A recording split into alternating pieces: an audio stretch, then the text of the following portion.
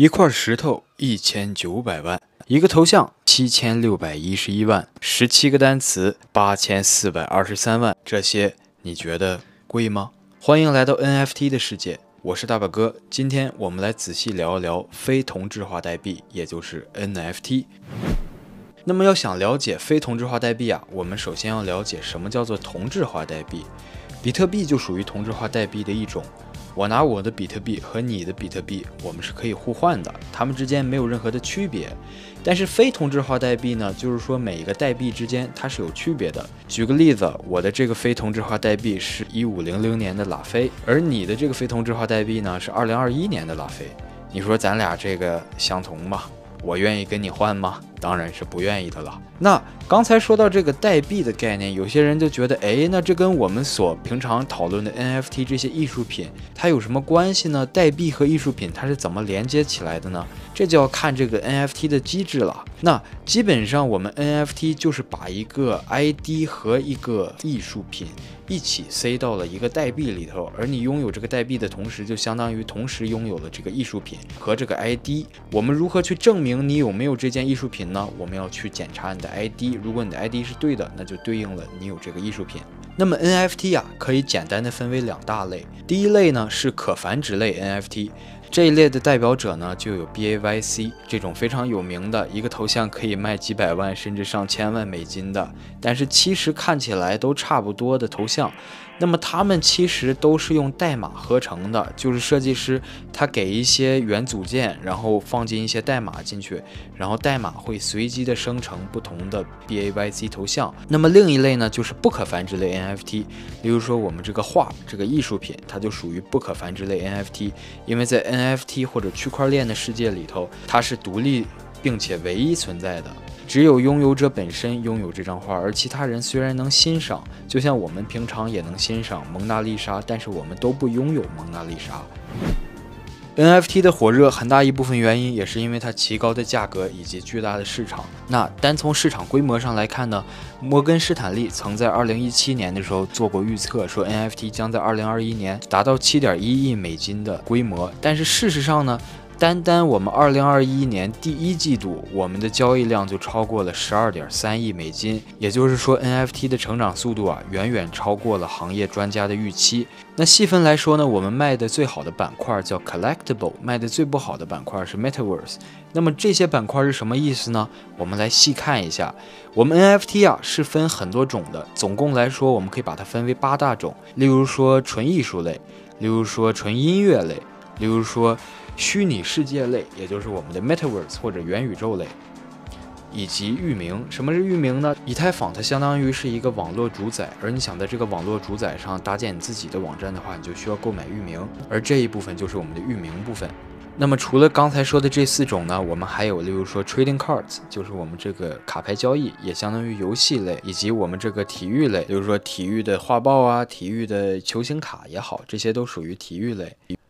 然后还有我们这个日常用品类，那什么叫日常用品类呢？例如说我玩游戏的激活码，或者说我某一个游戏里头的装备激活码，这些都属于日常用品类。以及我们刚才说的卖的最好的 collectibles，也就是收集类，那这里头也就是最出名的一些，例如说 Crypto Punks、BAYC 以及 Axie Infinity，他们都属于这种收集类。那我们再来看一下刚才说到的板块估值，这里我们可以看到卖的最不好的是我们这个元宇宙，也就是说，可能我们这一部分目前还有很大的发展空间。而卖的最好的是 collectible 这一部分呢，就是我们刚才说的这些 crypto punks 这些头像之类的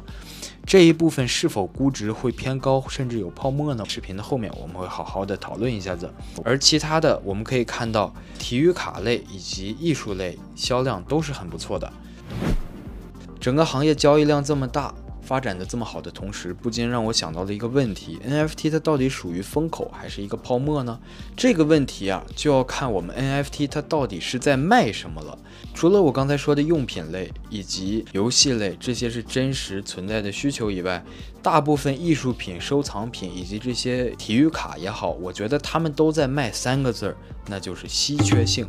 每个人都希望拥有一点专属于自己的东西，收藏家们也不例外。那有些人就想问了，我平常我买一个画作，我可以挂在我的卧室里，我可以别人来了可以给他们看，我自己每天也能看到。我买了一个 NFT，我只能打开电脑看到，打开手机看到。难道我要给别人看的时候，我还要打开手机给他们看吗？这就要提到 NFT 的另一个属性了，那就是他们跟元宇宙的关系。你可以把元宇宙想成一个完全虚拟的世界，每个人在这个虚拟的世界里都有一个新的身份，而这个技术现在正在飞速的发展，包括脸书、Facebook。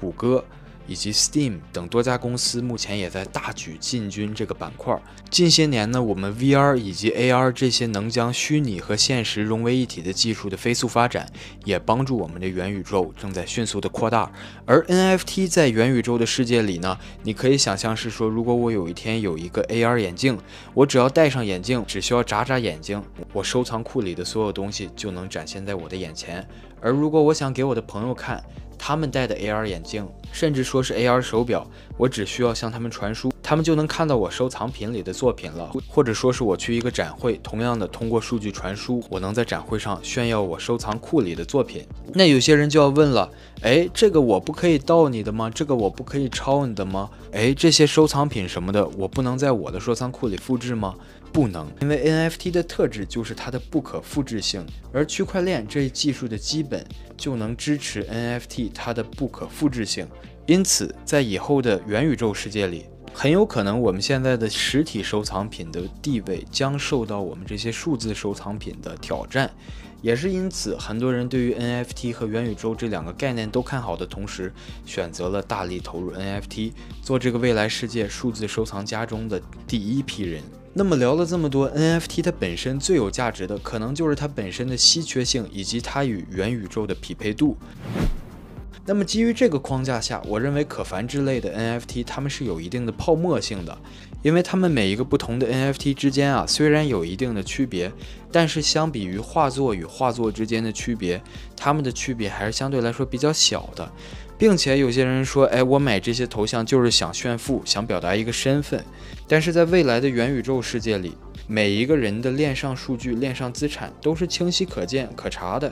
在这种情况下，我想炫富，我只需要告诉你我有多少个比特币，你去查就好了，根本不需要花几百万买一个头像去表达我的身份啊。而因此呢，我认为不可繁殖类的 NFT 它相当于是一个西部荒野，还有很多可探索的地方。有一些极其精美的艺术品，它们的价格现在非常的低；也有一些艺术品，它被炒作到了非常高的价格。但是无论你是一个收藏家还是一个投机者，数字收藏品这一部分的规律，应该跟现实中艺术品收藏的规律，在未来的成熟市场里不会相差太多。但是 NFT 目前最大的问题，其实并不是估值的问题，而是它的低流动性。因为它不像我们平常炒股一样，市场上有很多很多的参与者，随时买随时卖都很容易。NFT 它作为一个数字收藏品来说，很多收藏品它本身的受众面儿就是比较小的，在这种情况下，你很难随时找到一个买家和卖家同时存在的情况，因此它的流动性比较低。在下面这张图上，我们可以也可以看到，